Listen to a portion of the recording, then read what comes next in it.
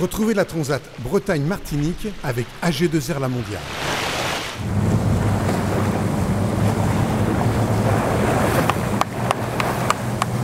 Fabien. Fabien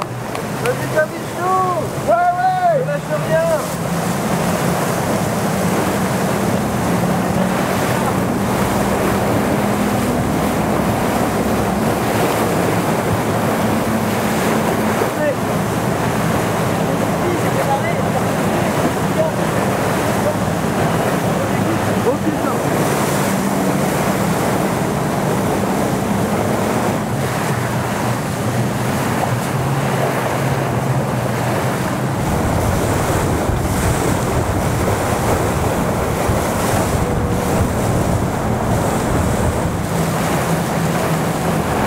Je l'entends plus, Erwan, moi.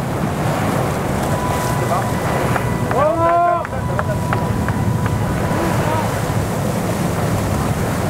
Bravo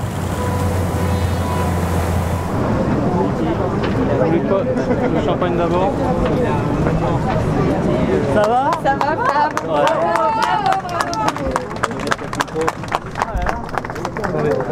bravo.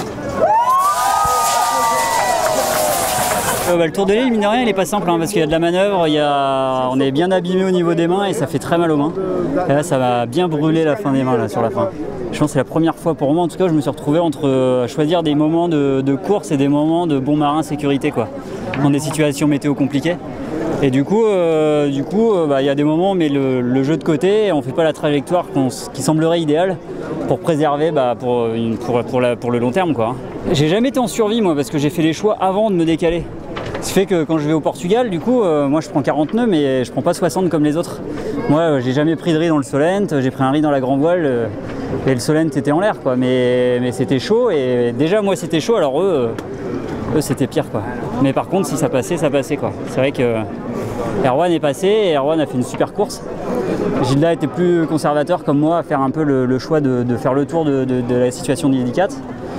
Et, euh, et voilà, je savais que le groupe des trois du milieu, s'il y en a un qui passait, il serait devant après. Après, Erwan, il a super bien navigué tout le long de la transat, donc derrière, il a, il a régné en patron sur cette transat. Mais, mais voilà, je, je suis content de moi en tout cas. Troisième, c'est top. C'était la Transat Bretagne-Martinique avec AG2R La Mondiale.